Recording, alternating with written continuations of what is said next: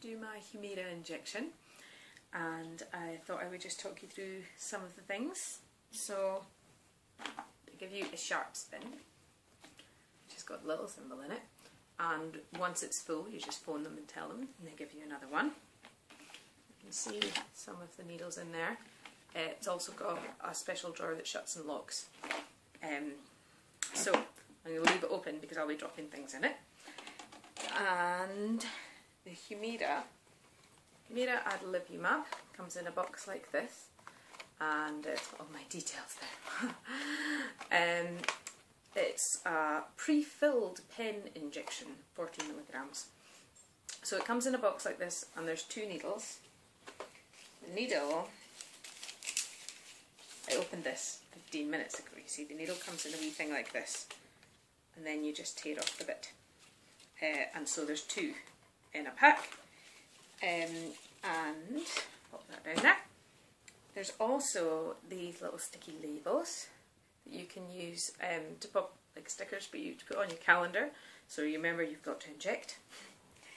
So you alternate between sides. So it's my right side tonight, your left side, and you can also do legs.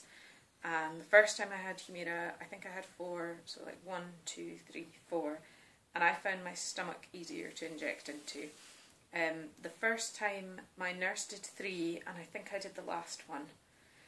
And then the next time he did one and I did one, and then the last time I did one myself, and then I got home with it.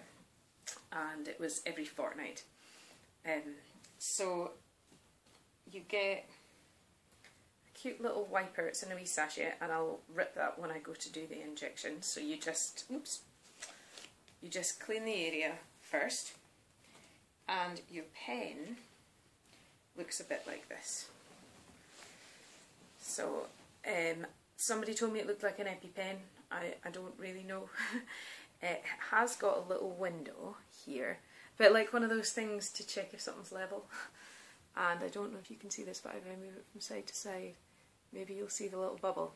There's a wee bubble inside that moves. Maybe not.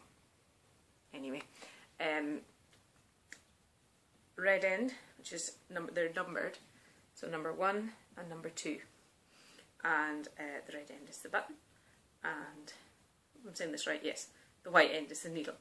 Um, I don't really think about this until I have to speak about it. So what you do when you get your injection is take it out of the fridge and you leave it um, to warm up at least 15 minutes. Um, and it's done that. I haven't just taken it out of the fridge, it's nice and warm. And the first thing you check is your little bubble, if your bubble is moving. And if it's um, cloudy, if the wee window's cloudy, which is not, it's totally see-through and the bubble is moving. Uh, and then I'm just going to check I've got the right drugs. so 40 milligrams, it's got little, little things here, Humira, and then down here, adalimumab, and I'm presuming that's just different languages, although that could be more information about the drug that I just don't know how to say it. And then down here we have got the date. So we're good, we're plenty in date for that. so, that is my pen. Before I inject, I'm just going to show you, if you were to inject in your legs, you would inject vertically. You've got to, I don't know if you can see my legs here, you've got to kind of pinch an inch. I've got more than an inch, so it's okay. And then you inject vertically, and I found it tricky to see the window. And unfortunately, I've not got somebody else to film this. So I don't think you'll be able to see. I will try and do it so I can see and maybe you could see, but I don't think that's going to work at all. I think it might be too far away.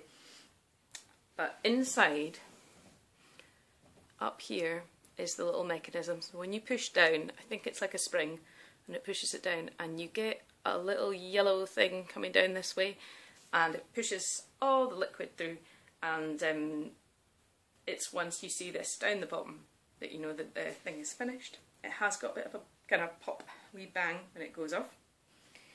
So let's get this show on the road. So I apologise uh, for anyone who's lovely and slim. I'm not. So um, yes, I've got my festival t-shirt on though because we're playing in a festival tomorrow. So there's going to be music. There's definitely going to be wellies because it's in the Highlands of Scotland and the weather report's not good. So there's going to be rain, beer, but I'm not going to be drinking any. Uh, I'm not camping either, but there's going to be plenty of people doing that. And sunglasses, it'd be awesome if we got to use those. But yeah, I'm afraid you're going to say goodbye to my festival and hello to my lovely belly. Uh, so this is the wee sachet thing. Wee.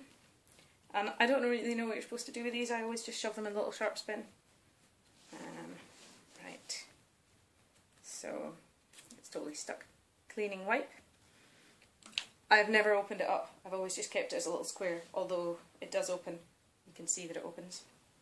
So I'm going on the right hand side and I have just pinched a bit. I've come from my belly button over this way a wee bit. So I'm just wiping. There we go. Wiped. And there's probably a knack to doing this without letting go, but I haven't worked it out yet. Got my pen. Pop with number one. Number one is off, and as you can see, there is no needle that is visible. Holding on, number two is off. I've never done this, obviously filmed before. Number two is like stuck a wee bit. The connection looks a bit like a jigsaw piece.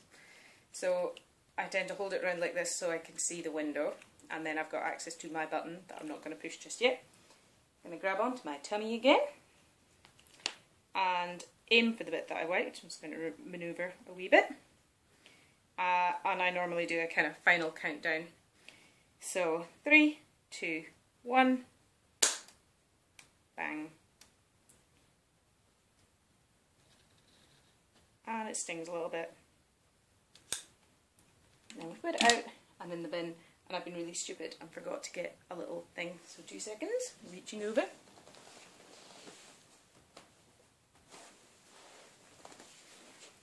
Woo! Very unprepared, sorry. I did bleed a little bit there and it wouldn't have had I been prepared and bought the trick taking the little thing. That was really silly of me, I'm sorry. And uh, if my nurse is watching this, he will be mortified that I have uh, filmed my last injection and forgotten the cotton bud. so yes. But yeah, I find that it's just the sound of it um, that's worse than the actual injection, although sometimes you kind of hit like a vein or something and it's a bit like, ah. Uh, it's actually worse this part, holding on to afterwards, so I shall get rid of my lovely tummy and hold on to this from the other side. Um, and it's a bit like, it just reminds me of if you get your blood taken and they said to you, push and hold afterwards, it's just like that. So, over and done with, and any minute now it'll have stopped and it'll be fine. Nearly. It's because I left it. Um, but yes, so that is the last Humira injection before um, my operation and hopefully the last ever. but um, it wouldn't be so bad if I have to go back on it. It's not too much of a hassle. So thank you very much for watching. Bye bye.